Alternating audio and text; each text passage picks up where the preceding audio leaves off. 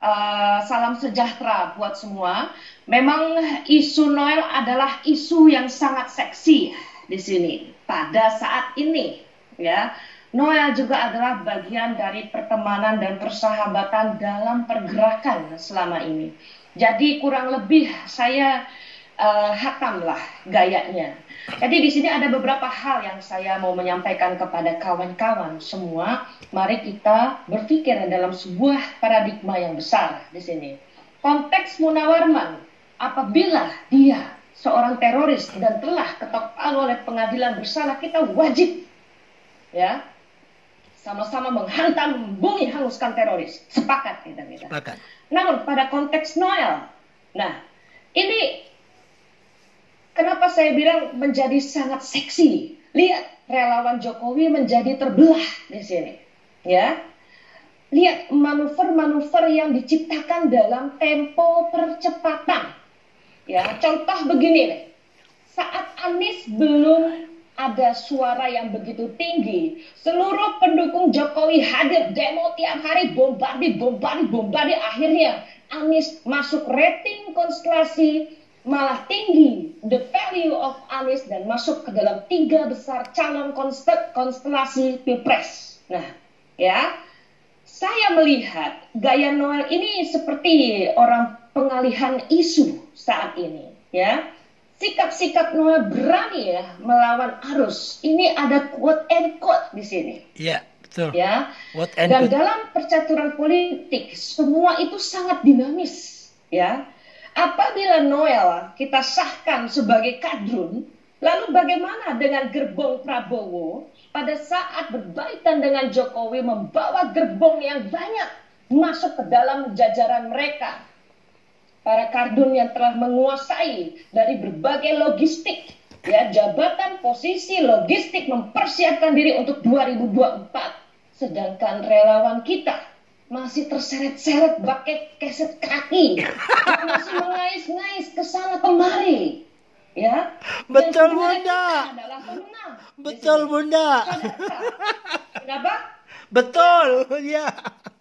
Iya gitu. Ya, makanya oke, okay, isu Noel adalah isu yang seksi yang saya mau bahas di sini berpikir dalam paradigma yang besar ya strategi mereka atau strategi kita yang berhasil di sini Nah, mengenai Bang Noel, karakter dia memang begitu dari dulu, gitu. That's Noel, ya. Tapi apa pun itu semua, saya juga tidak membenarkan cara dia, ya, pada konteks Munawarman. Dan lihat saja nanti, Noel itu the popular vote ratingnya makin tinggi. Dan yang ngerinya, kita lagi men-set up Jokowi penentu suara kingmaker, jangan-jangan Noel menjadi penentu suara kingmaker gitu loh, ya. Itulah kawan-kawan bijaksana, ya. Uh, kita apa namanya kita gebrak-gebrak setiap hari mau hajar-hajar setiap hari akhirnya tercipta relawan Jokowi terpecah dan akhirnya suara relawan Jokowi akan kepada dia. Kita lebih ingin apa pasukan 212 kita sadarkan kita tarik untuk menjadi militan Jokowi. Ya gitu. Ini adalah tarik menarik sebenarnya. Banyak sebenarnya pendukung mereka ini sebenarnya tidak paham Jokowi ini ngapain. Saya banyak masuk ke kubu mereka menyadarkan sampai menangis bahkan sampai bilang kami berdosa. Ya telah menghina menghujat Jokowi sejauh itu padahal Jokowi tidak sejahat itu gitu. Namun saya tidak masuk kepada peta konflik tertinggi seperti Bang Noel gitu loh. Kawan-kawan, relawan Jokowi ini mempunyai the power value rating yang tinggi dibanding partai. Tapi ingat, 212 pun akan dipakai oleh siapa pun nanti presidennya. Ya, ini adalah deret ukur the power value of pergerakan gitu loh kawan-kawan. Nah, apa ah, sikap kawan-kawan, gini, sikap kawan-kawan, sebentar, biarkan saya bicara dulu, ya. Sikap kawan-kawan saya hargai apa pun bentuk dukungan pergerakannya. Tapi satu hal, bagaimana kesulitan relawan Jokowi ini harus utuh, ya, bersama. Itu yang harus kita galang sebenarnya. Dan kedua kawan-kawan, coba perhatikan, ini yang saya bilang kaitannya, Noel ini seperti pengalihan isu.